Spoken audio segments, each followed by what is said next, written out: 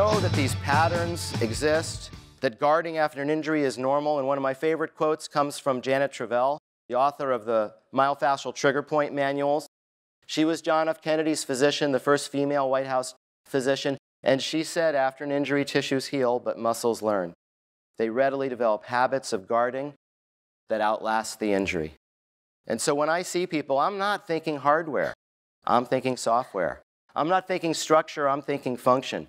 I'm on the side of there is something that they've defaulted to, which if we can erase, that person is going to begin to feel better almost immediately.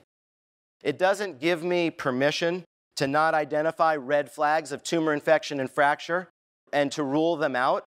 I have to know about past malignancies. I have to know about corticosteroid use. I have to know about recent fever, coughs. I have to know about infections, other familial risk factors, because when there are red flags, I have to look at structural things. But fortunately, 99% of the people we see don't have red flags. And we can identify the 1% who might with very simple medical screens. This is not rocket science, even if it's based on it.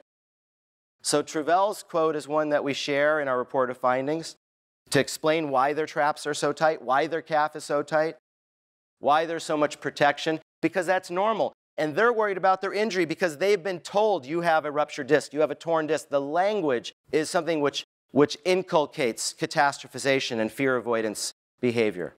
We want to de escalate that by explaining to people that tissues heal. A fracture will heal after seven or eight weeks.